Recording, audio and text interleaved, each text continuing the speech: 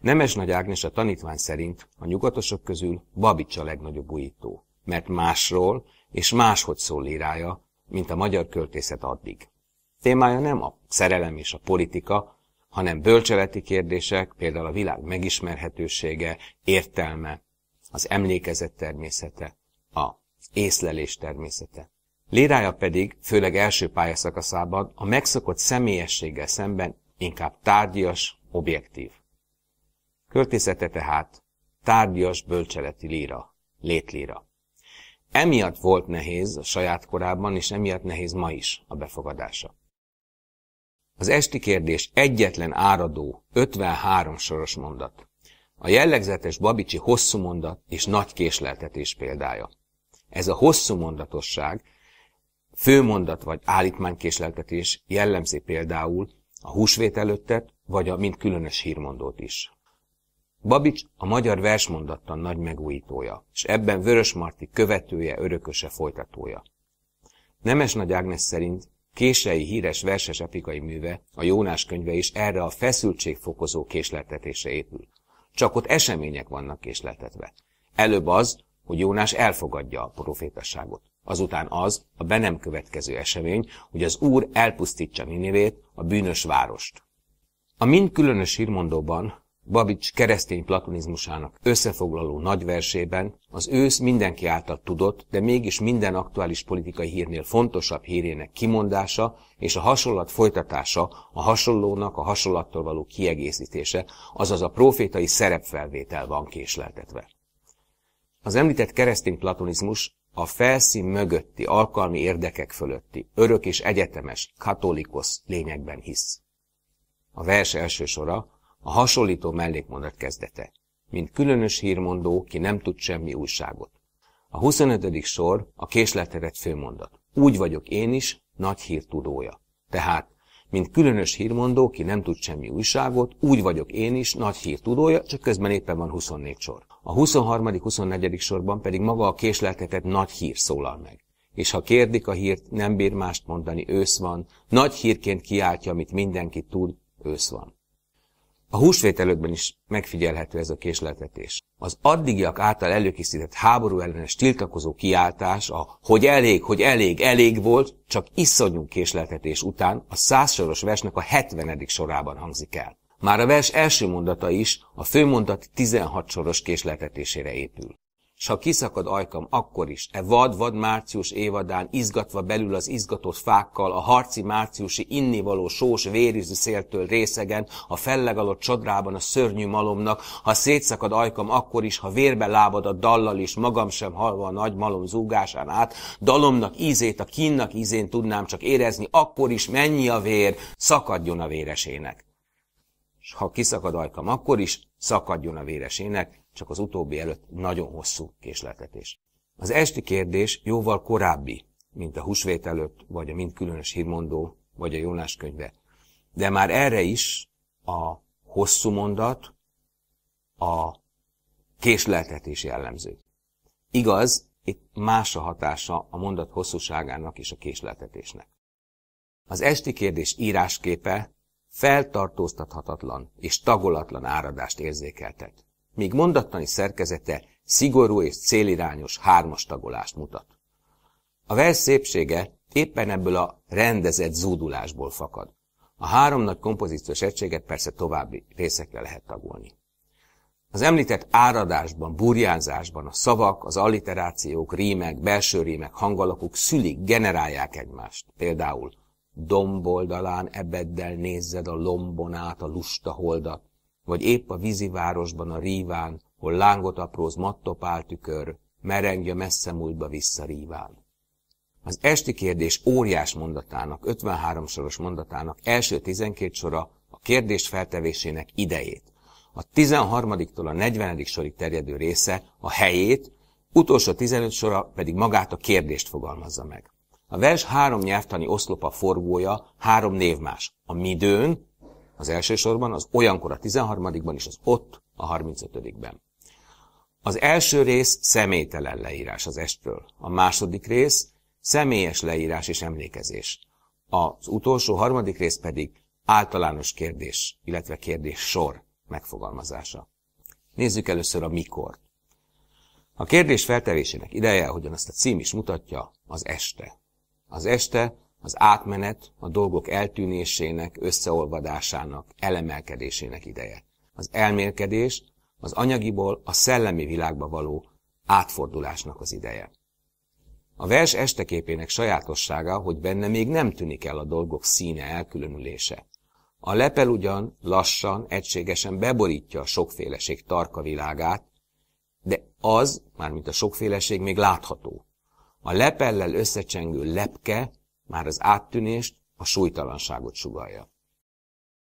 Időn az est, lágyan takaró, fekete síma básonytakaró, melyet terít egy óriási dajka, a féltett földet lassan eltakarja, s oly óvatosan, hogy minden fűszál lágy leple alatt egyenesen áll, és nem kap a virágok szirma ráncot, s a hímes lepke kényes dupla szárnyán, nem veszti a szivárványos zománcot, és úgy pihennek-e lepelnek árnyán, e könnyű síma bársonyos lepelnek, hogy nem is érzik e lepelt tehernek.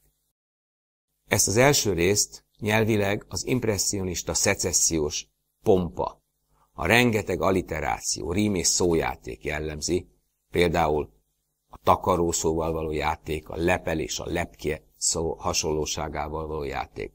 A sok egybecsengés, például a lágy ellek érzékeltetik az este óvó, gyengéd mi voltát. A leírás festmény leírásszerű, szavakkal folyó festés, és ebben Csokonai az Estve című költeményének indításához hasonlít. A kép mindkét helyen rokokósan pompás és allegorikus. Ott a lenyugvó napnak hintaja van. Itt az este egy hatalmas dajka.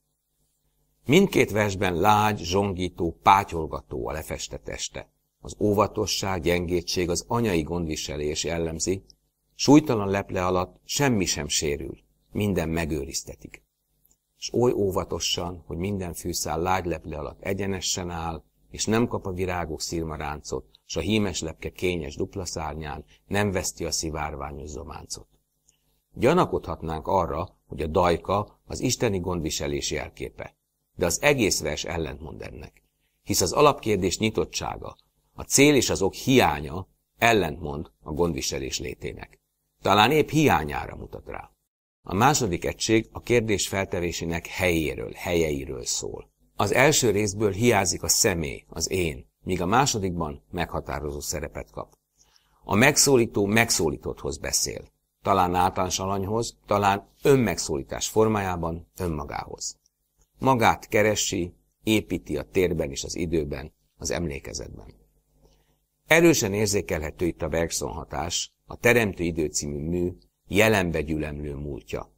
Múltból teremtődő jelene. A tartam, a szubjektív idő, a kitáguló pillanat.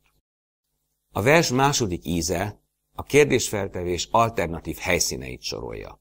Kérdés, hogy ezek lehetséges változatai-e a közös lényegnek, vagy egy összefüggő sort, elbeszélést, narratívát alkotnak. Valójában ez a kérdésfelvetés terét megjelenítő rész szól az idő természetéről. Térbelivé teszi, tériesíti, térben teríti ki az időt. A kérdés az tehát, hogy a felsorolt helyszínek azok csak variációi a kérdésfeltevés helyének, vagy valamiképpen elbeszélt narratív sort alkotnak. Az általános indítás a bárhol a nagyvilágban után a következők jönnek. Otthon, barna buszszobádban kávéházban, domboldalán, országúton, a hajónak ingópadlatán, a vonatnak pamlagán, idegen városba a bolygván keresztül, vagy épp a vízivárosban a ríván, merengje messze múltba visszaríván.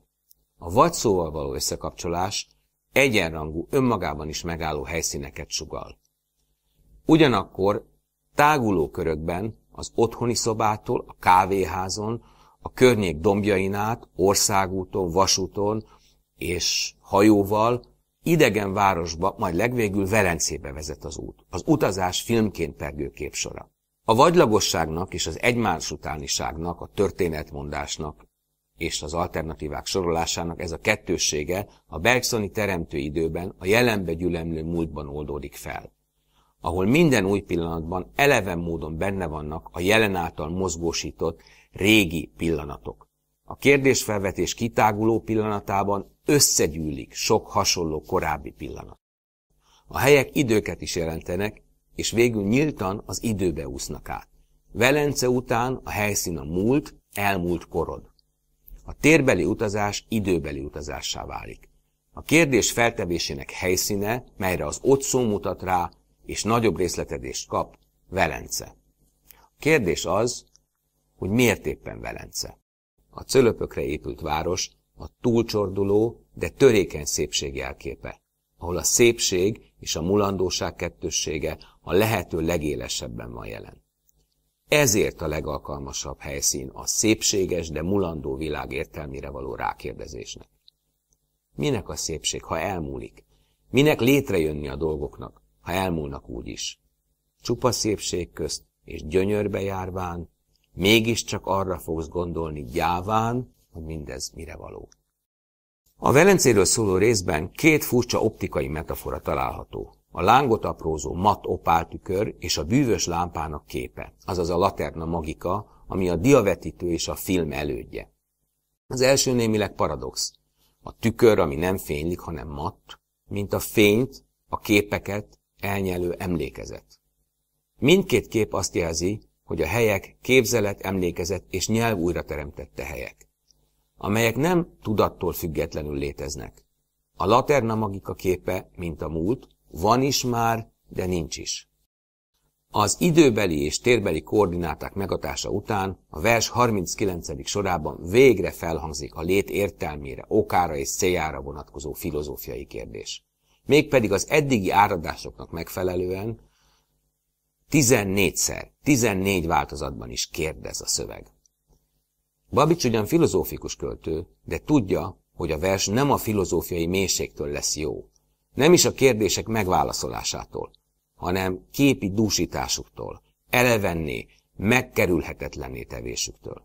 A kérdés, vagy valójában 14 kérdés, 14 alkérdésre, szemléltetett alkérdésre bontott kérdés így szól.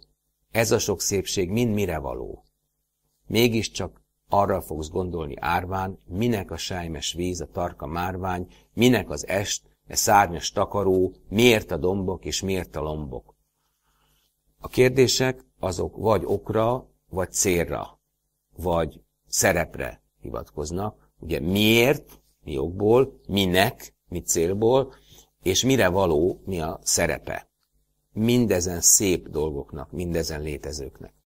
A kérdezés egyfajta finálé, megfordított sorrendű, gyorsított visszapergetése a 13.-38. soroknak. Például, minek a sejmes víz a tarka márvány, minek az este szárnyas takaró, miért a dombok és miért a lombok.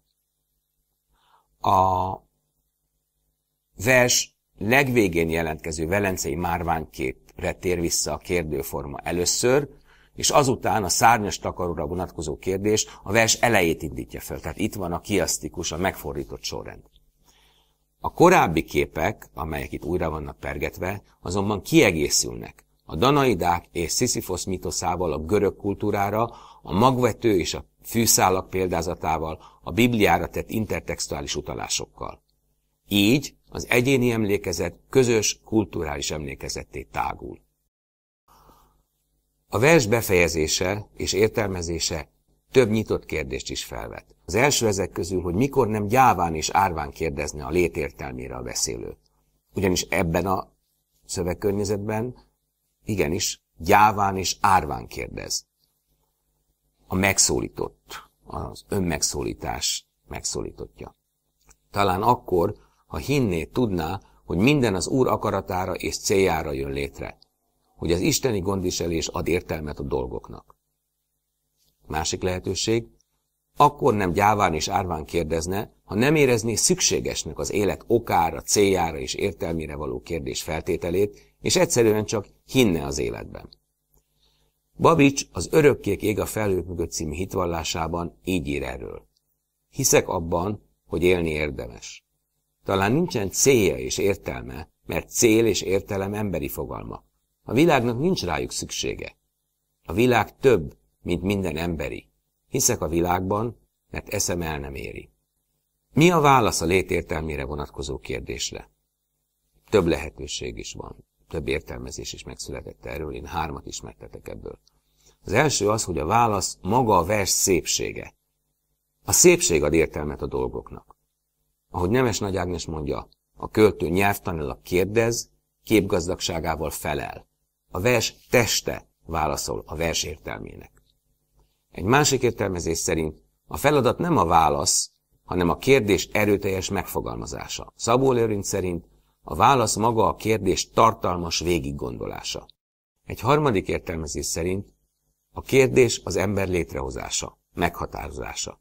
Van egyfelől az értelem nélküli önmozgó lét, másfelől a kérdéseivel értelmet alkotó, értelemteremtő, önmagát teremtő ember.